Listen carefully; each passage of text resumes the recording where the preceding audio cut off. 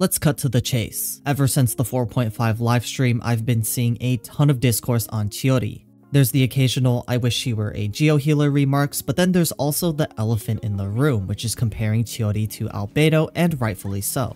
Although they might share the same role as an off-field Geo DPS, Chiori's damage is a lot better than Albedo's thanks to the tools in her kit.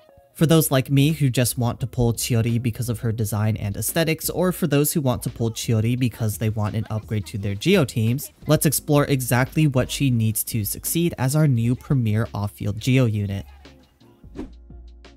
Chiori's skill is her bread and butter. Tap her skill and she'll dash to nearby enemies to summon her doll Tamoto to automatically attack enemies every 3.6 seconds. This doll has a 100% uptime with a 17 second duration and a 16 second cooldown. Beyond that, there's three important nuances to understand when using Chiori's skill. First, after tapping or holding her skill, you can either immediately normal attack afterwards to gain Geo Infusion, or tap her skill again to automatically swap her to the next character in your party. Most of the time, you'll want to activate her skill again to swap into the next character in your party because Chiori's Ascension talent grants her skill up to 2 more hits of geo damage when your party member's normal charge or plunge attack. This means you'll also want to pay attention to your party's order to ensure that Chiori is in the slot above the character you want to appear after her. For the second nuance, you can summon an additional Tamoto doll before or after using her skill by summoning a Geo Construct, which only includes Geo MC's skill and burst, Itto's Ushi, Albedo's Flower, Ningguang's Jade Screen, or Zhongli's Pillar. Additionally, whenever you create a Geo Construct, Chiori will also gain 20% Geo damage bonus for 20 seconds. Without Geo Constructs, Chiori's damage is already slightly better than Albedo's, but once you add in the extra doll and the Geo damage bonus, her DPS numbers get sizably better. And last but not least, the third nuance to understand with Chiori's skill is that it has split scaling. I know when some people hear split scaling, they'll immediately think the character is always worse, but as we've seen with characters like Nahida and Alhaitham, you can actually have split scaling work in your favor. For Chiori, it doesn't necessarily take her to new heights like it does with Nahida or Alhaitham, but it doesn't actually hurt her despite her skill and burst both scaling with attack and defense. Chiori's burst literally does nothing except for instant geo damage with a short cooldown and a low energy cost, and her skill also doesn't provide any buffs, just raw geo damage. What this means is that with split scaling, Chiori still wants to build defense as a main stat, but having triple or double defense main stats won't get you the returns you want due to the fact that her defense scalings are lower than they could be to balance out with the extra attack scaling that she gets. Instead of building full defense, Chiori values geo damage and crit stats even more when compared to other characters. We see this philosophy play out in both her weapon and artifact options, so let's start with weapons first since they are the more complicated part of the build. Your best free-to-play option and the best all-around option aside from her signature weapon is going to be the 3-star Harbinger of Dawn. Because a portion of her damage scaling is split into defense, the low base attack of this 3-star sword doesn't actually hurt Chiori and is a reason why split scaling can work in her favor. The massive crit value that you get from this weapon when above 90% HP gives her an option that pretty much anyone can obtain and is really easy to build around. The only downside of using this sword is that you cannot use her with Furina who drains the HP of the entire party. Her signature weapon, Uraku Misugiri, is about 20 to 35% stronger than Harbinger of Dawn, which is about the standard damage difference between a signature weapon and the best free-to-play option for most characters, but since she's not often used on field without C6, it's really not worth your Primogems. Another 5-star sword with a large crit stat like Primordial Jade Cutter ends up being about 5 to 7% better than Harbinger of Dawn, but I doubt that many players have a spare copy of this sword lying around on their account. As for other options, Cinnabar Spindle is an old event limited weapon for Albedo and it also works fine on Chiori given its passive is all about enhancing your skill damage based on your defense stat. In the case that you don't have a Geo Construct active, the passive will perfectly enhance every hit of her doll's attack with no cooldown issues. However, with a Geo Construct active, the presence of two dolls makes things a little bit awkward with the passive. When you use Chiori's skill when a Geo Construct is already on the field, the two dolls will attack in quick succession, resulting in the second doll attacking before Cinnabar's passive comes off cooldown. If you summon a Geo Construct after using Chiori's skill, the two dolls will have their hits more spread out, but depending on your timings, it is not a 100% guarantee that the hits from both dolls will benefit from Cinnabar's passive. The only way I could get it to work from my testing was by timing your Geo construct so that both dolls end up attacking at the same time and benefit from the 0.1 second window for buffing skill damage mentioned in the Cinnabar passive before the buff is cleared. But regardless of that, even the damage calcs with the assumption that the skill enhancement happens every other hit are still impressive. In teams without a Geo construct or in teams where you can't sync the two dolls to the Cinnabar's 1.5 second passive cooldown, this weapon has about the same damage level as Harbinger of Dawn. If you can get the two dolls to account for Cinnabar's 1.5 second passive cooldown, it is a notable difference and Cinnabar rises to about the same level as Primordial Jade Cutter. Other viable swords include Festering Desire, Wolf's Fang, or Finale of the Deep, but Festering is not so accessible anymore like Cinnabar Spindle, and the other options released with Fontaine are still outperformed by Harbinger of Dawn. For artifacts, Chiori keeps it simple for you. You can choose between the 4-set Golden Troupe and the 4-set Husk of Opulent Dreams, whichever one has the better substat value. If all substats are equal, then Golden Troupe is slightly better than Husk of Opulent Dreams because it does not have to deal with the split scaling that we discussed earlier, and it also resides in the more resin efficient domain. Marechaussee Hunter is a very relevant artifact set with the recently released DPS characters like Gaming, Neuvillette, and Wriothesley.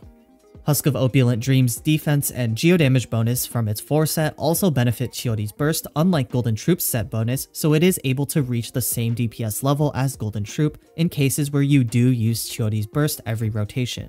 However, farming Husk means you will be farming a less resin efficient domain with Ocean Hued Clam, which really only shines with Kokomi and to a lesser extent Baizhu and Barbara. As for artifact stats, defense in the sands, geo damage bonus in the goblet, and crit rate or crit damage in the circlet is your standard build. Because Chiori's burst doesn't deal crazy damage and it doesn't have a high energy cost, you really don't need to get copious amounts of energy recharged with substats like most other characters. Instead, prioritize crit stats the highest and then defense and attack percent afterwards. Having the occasional energy recharge substat here and there is always nice, but like Albedo, you won't need to go anywhere beyond 120 to 130% energy recharge for most teams. With the right build, it's now time to figure out who to pair with Chiori. I'm sure when players think of where Chiori would be good, many think of Mono Geo first. And to that I say yes, she's especially good with Itto.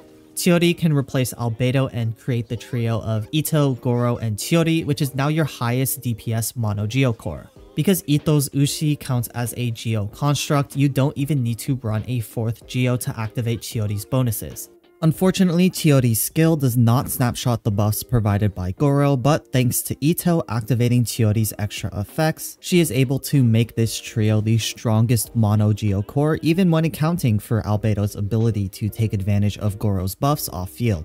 So, this interaction between Ushi and Chiori means you can opt for survivability options or pure damage in the final slot. Zhongli, Layla, and Kuki Shinobu are great for survivability and holding the 4-set Tenacity of the Millelith for a 20% attack buff, while Diona or Bennett can hold the 4-set Noblesse Oblige for that same 20% attack buff. Fischl, Yelan, and Xingqiu are your best pure damage options to pair with Itto if you feel like you can get away without survivability in the final slot.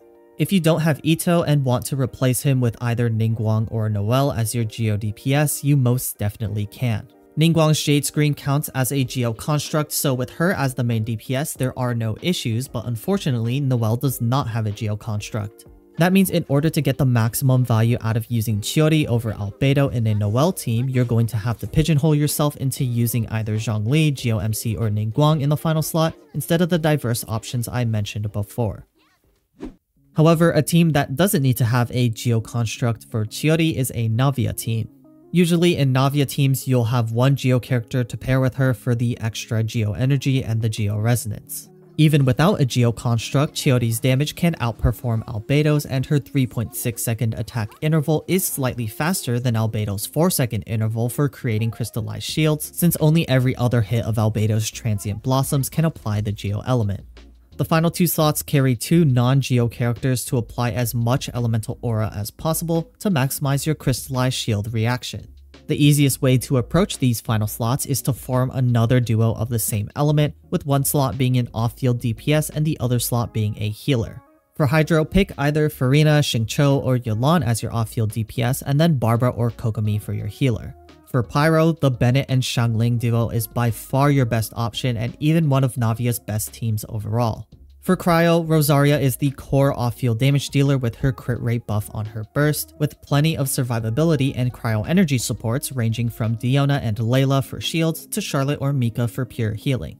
And finally, Electro usually takes Fischl, Yaimiko, Beidou, or Lisa for Electro DPS with either Kuki or Dori for healing. Fischl in particular is one of Navia's best teammates because she does generate a ton of energy and has cooldowns that work in line with Navia's rotation.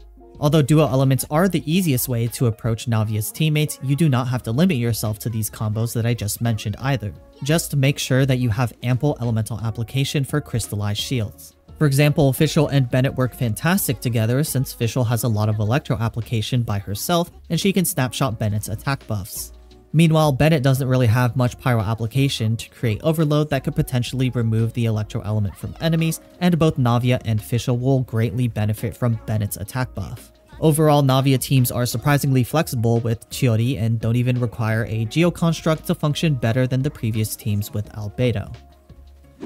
However, one point to note is that with C1, your Navia teams can get a huge boost because C1 allows for Chiori to get all of her kit's bonuses without the presence of a Geo construct. Is this constellation a must get though? Absolutely not.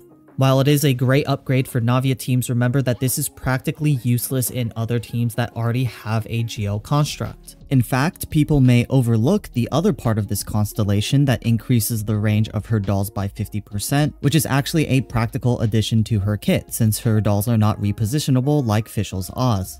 Even after C1, her constellations just add more damage to her kit aside from C6, so there's really nothing to chase in terms of constellations. Players that do have Navia can heavily consider getting C1, but I really want to emphasize the point that even a C0 Harbinger of Dawn or Cinnabar Spindle Chiori can do your Navia teams justice, so don't feel compelled to go beyond getting your first copy of Chiori. We have some banger reruns with Neuvillette and Kazuha this patch, as well as some exciting new characters like Clorinde, Sigewinne, and the recently drip market Arlecchino that appear in the Fontaine story that you can save your leftover primos for. With how simple Chiori is, you can even slot her in with your favorite 3 character core as the final unit if you have no idea who else to run. She may not be your best choice for that final slot outside of Navia or Mono Geo teams, but she will definitely hold her own by at least dealing decent damage. But other than that, that's all I have time for today. Hopefully you guys enjoyed this Chiori guide, and most importantly, I hope this guide was helpful for building the perfect Chiori for your account. Other than that, it's the same as always, I'll see y'all in the next one. Peace.